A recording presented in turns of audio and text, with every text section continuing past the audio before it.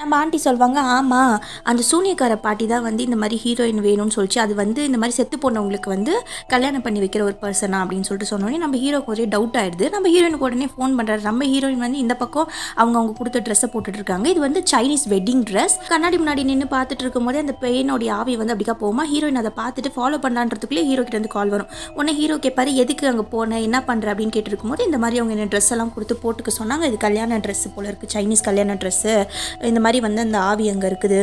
நான் பார்த்துட்டேன் அப்படின்னு நம்ம ஹீரோ இது கல்யாண ட்ரெஸ் போட சொன்னாங்களா? முதல்ல எதுக்கு நீ அதெல்லாம் போட்டுட்டு இருக்க கழட்டி வச்சுட்டு அங்கேருந்து கிளம்பு அப்படின்னு வரு உடனே நம்ம ஹீரோயின் எதுக்கு சார் கிளம்பணும்? உங்களுக்கு தான் இது இம்பார்ட்டன்ட்னு சொன்னீங்க இல்லையா? அது மட்டும் இல்லை சார் அந்த பையனுடைய ஃபோட்டோவை நான் பார்த்தேன். அவனுக்கு வந்து உடம்பு சரியில்லாமல் இருந்துச்சு. அதனால அவனுக்கு வெளியில் போகிறதுக்கு ஆப்பர்ச்சுனிட்டியே இல்லைன்னும்.